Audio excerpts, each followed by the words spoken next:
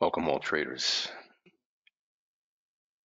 Jeff Killian here for the Vector Traders Consortium, analyzing the price actions compared to the indicator formations on Dow E-mini futures for the near contract month 321, that's SYM, NCM 321. A lot of resistance coming in, upside resistance here at the session uh, open area, and then again, the new session high created just above the high of 219. We believe that that's it for now, and we're looking to go short this market and make some money once we get through the, um, the preferred level here at the um, well, previous session's close. So we're just about there. The probe is complete, and uh, we want to take advantage of that opportunity.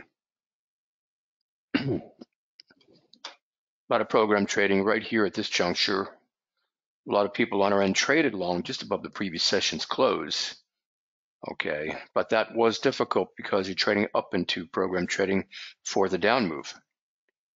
So if in fact the market is tapped out in real time at this juncture, there is a definite um, opportunity to make some serious money to the downside SMI is at the, uh, that's the Stochastics Momentum Index is at the upper region of the subgraph, and we're just about there.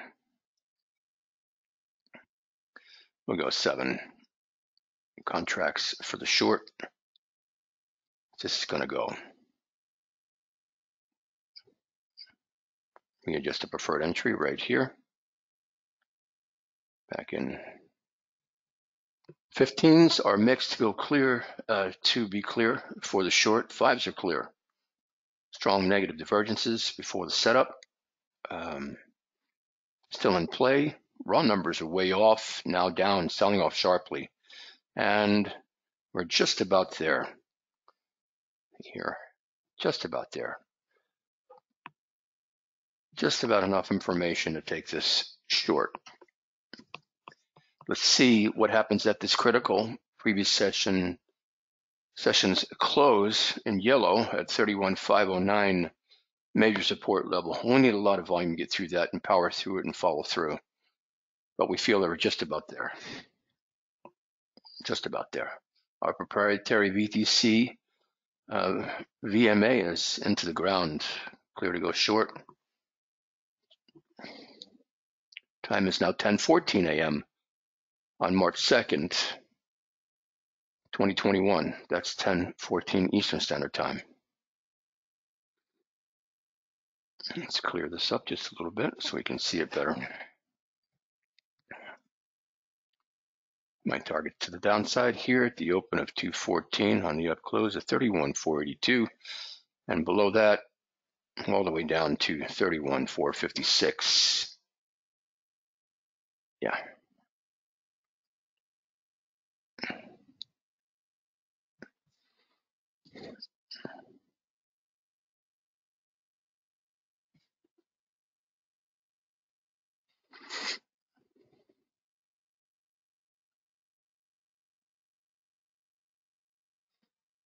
A lot of people were in traders. A lot of traders were in people just below 31509.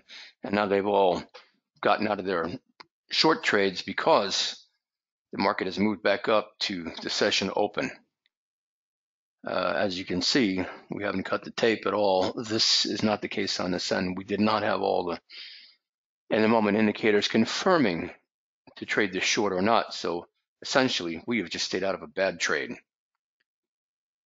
And this is exactly what we want to do because the key to longevity in trading as a professional is risk mitigation. Anybody who's been around for at least five years will tell you that. It is not all the home run trades that a lot of guys smoking mirrors are, are putting on the internet. It's real life trading.